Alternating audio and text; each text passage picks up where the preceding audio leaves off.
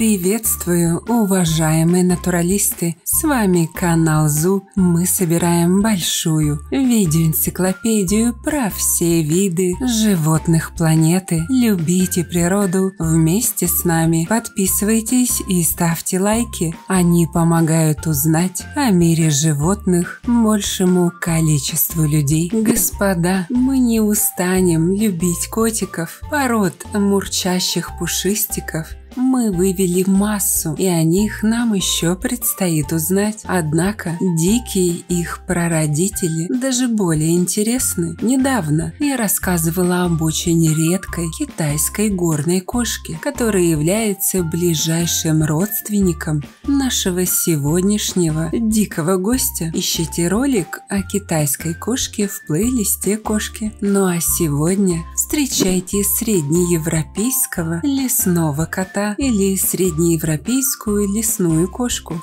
ну или просто европейского лесного кота. Подвид лесного кота рода кошки, хищное млекопитающее из семейства кошачьих. Изначально ареал обитания лесного кота охватывал большую часть Западной и Центральной Европы. На севере до Англии и Балтийского моря, на юге включал Испанию, Италию, Балканский полуостров, Малую Азию и Кавказ. Северо Северо-восточная его граница проходила по западным регионам бывшего Советского Союза. Сейчас же этот подвид населяет только западную и восточную Европу, юго-западную часть Украины и Кавказ. Для проживания этот кошачий мизантроп предпочитает глухие смешанные леса, дабы не встречаться лишний раз с двуногими. А если селится в горах, то может подняться на высоту в 2-3 километра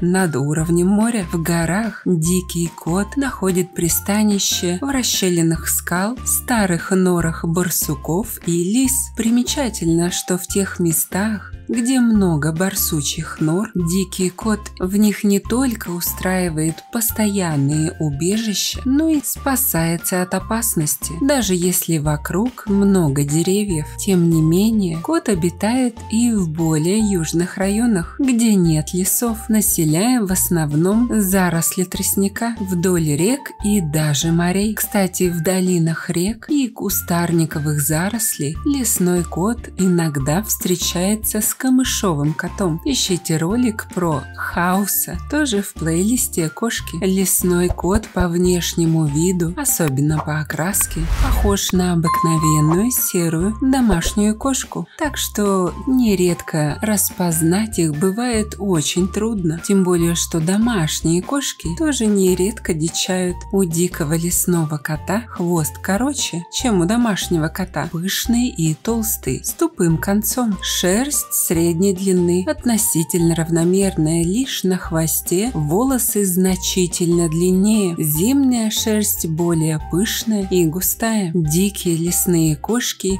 имеют очень хорошо развитый слух и зрение, а чутье немного слабее. Уши дикого лесного кота могут вращаться быстро, чтобы идентифицировать источник какого-то специфического звука и могут реагировать на частоты вплоть 25 тысяч вибраций в секунду. Из-за этой способности коты могут слышать даже ультразвуковые шумы, создаваемые маленькими грызунами. Это позволяет им быстро обнаружить и схватить добычу, которую они даже не видят. Зрение хорошее, но, вероятно, не лучше, чем у людей. Количество цветов, которые видят кошки, меньше, чем человеческий спектр. А еще коты не могут видеть объекты непосредственно перед их носом. Они также имеют способность видеть даже очень незначительные движения, что помогает своим своевременно заметить грызуна. Также глаза приспособлены для видения при тусклом свете и в вечерних сумерках. Другой выдающийся орган чувств у котов – это усы или вибрисы. Это специальные волоски, которые используются ими в качестве высокочувствительных сенсорных органов. Кот использует свои усы, чтобы определить, может ли его тело протиснуться через маленькие отверстия отверстия, например, такие как норы. Они также используют их, чтобы обнаружить движение добычи в непосредственной близости от их мордочки. Индивидуальный участок нашего усатого индивидуалиста обычно занимает около 2-3 квадратных километров. Европейский лесной кот ведет, конечно же, преимущественно ночной образ жизни, хотя есть сведения и о дневной охоте. В основном в пасмурную погоду и особенно летом. Одна европейская дикая кошечка за ночь может пройти в поисках добычи до 10 километров. Несмотря на сравнительно небольшие размеры, лесной кот – это довольно серьезный хищник. Это пушистик с широким и очень разнообразным спектром добычи. Обычно его пища – это, конечно же, мелкие грызуны, мыши, полевки, сони. На втором месте идут птицы, особенно куриные. В Дагестане, например, от дикого кота изрядно страдают выводки куропаток и фазанов, а в прошлом веке дикий лесной кот даже охотился на дров, а однажды в его логове были найдены перья целого орлана белохвоста. Иногда дикие кошки нападают и на представителей семейства куньих, например, на горностая ласку или хорька.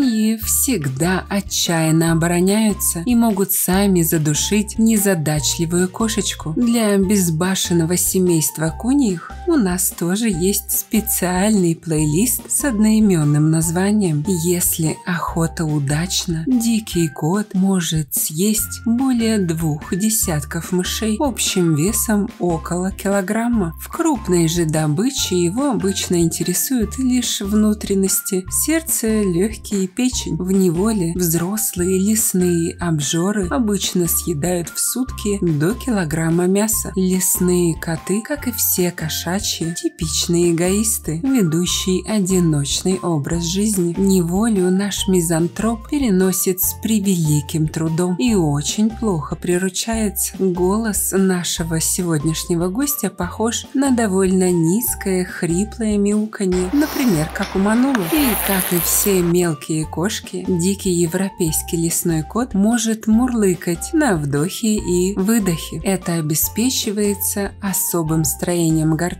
отличающим мелких кошек от крупных, таких как пантеры, которые мяукать не умеют. Хочет любви наш лесной котик один-два раза в год. Основной гон происходит в январе-марте. В это время и самцы, и самочки чаще всего метят территорию и громко и заунывно кричат. Самцы, группами ходящие за одной самочкой, время от времени дерутся за обладание ею. Котята рождаются в апреле-мае, самые поздние в начале декабря. Чаще всего кошечка приносит 3-6 котят, которые рождаются совершенно беспомощными. Гордый лесной самец в воспитании потомства никакого участия не принимает. Вся забота лежит на пушистой дикарке. Пока котята маленькие, она не оставляет их подолгу. Заботливо охраняет от нападений мелких хищников, вроде хорька или горностая. В случае опасности перетаскивает в новое логово. Кормление молоком продолжается 3-4 месяца, но уже через полтора после рождения котята пробуют кушать мясо. В двухмесячном возрасте котята начинают следовать на охоту за матерью, а еще через 2-3 становятся самостоятельными охотниками. У европейской лесной кошки имеется множество врагов, которые периодически на нее охотятся. Среди них наиболее опасны волки, лисы и шакалы. Но поймать кота, как дикого, так и домашнего, очень сложно, так как от всех наземных хищников он спасается на деревьях, по которым отлично лазает. Если же конкурент тоже хорошо лазает по деревьям, то проще ретироваться. Например, в Карпатах отмечался уход дикого лесного кота с тех участков, куда вселялась рысь, которая та еще древолазка. Наиболее серьезную опасность для дикого кота, несмотря на его превосходство в размерах, представляют куницы, сами иногда бывая добычей дикого лесного кота. Они являются причиной гибели многих молодых кошек, в частности в Центральной Европе. Генетическая близость лесной и домашней кошек в определенных условиях служит предпосылкой для образования новых гибридных форм. Таким образом, если сама возможность гибридизации между домашней кошкой и дикой вполне естественна, то мнения о реальных ее природных масштабах серьезно расходятся. К сожалению, по ряду причин, главной из которых сокращение лесов, в наших дней во многих странах Европы лесной кот просто исчез. За последние десятилетия численность и ареал кавказской лесной кошки в России сократились прежде всего в результате разрушения естественных биотопов. Как исчезнувший вид, лесной кот включен в Красную книгу Беларуси. Проблематично его сохранение в Литве. Несмотря на то, что промысловое значение его невелико, в середине 20 года на численность этих кошек оказала влияние охота. На Северном Кавказе ежегодно заготавливали 5000 шкурок, а также лесной кот нередко попадается в ловушки и капканы, поставленные на куниц. А как вы думаете, лесной европейский кот может окончательно исчезнуть в связи с гибридизацией с домашней кошкой? Пишите в комментах.